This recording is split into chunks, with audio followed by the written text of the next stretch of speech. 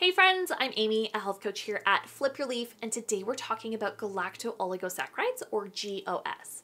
Now, spoiler alert, galacto-oligosaccharides fall under the oligosaccharide umbrella or the O in FODMAP, and you're going to find them in foods like vegetables or nuts or beans.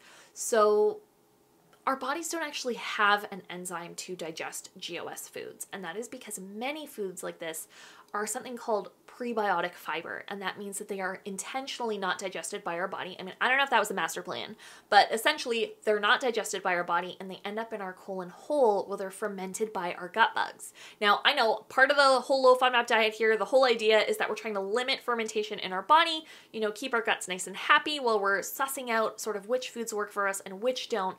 But some fermentation is really important to our bodies, right?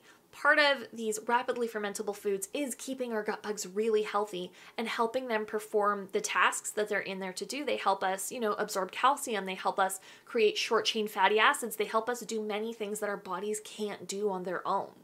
Right? And so it's very important that we're keeping foods like this in our diet. Now, this is not a cause for panic, right? You don't need to scour the internet for how to keep these prebiotics in your diet there are lots of options in the Monash app. I have lots of options in my VIP resource library. It's totally free. If you want options for how to add prebiotic foods into your diet, like you can email me or you can just hop into my VIP library and grab a free download about how to add low FODMAP prebiotics into your elimination phase.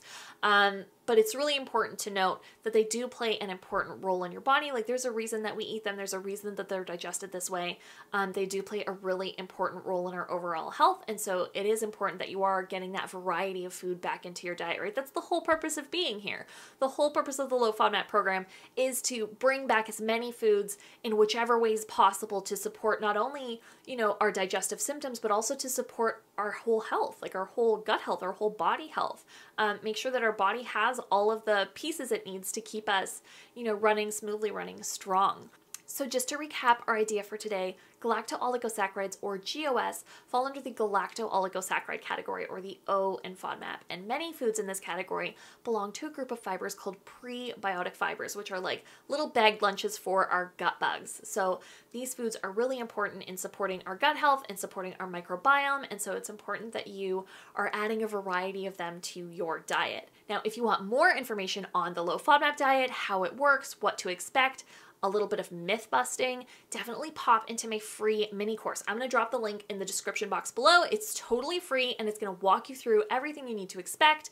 It's going to walk you through sort of the ups and downs, a little bit of troubleshooting to really make sure that you're starting your low FODMAP diet with success. But before you go, don't forget to subscribe to my channel. You are going to get a ton more information about IBS, the mechanics of FODMAPs, and how to make your body feel like home. I'll see you in my next video.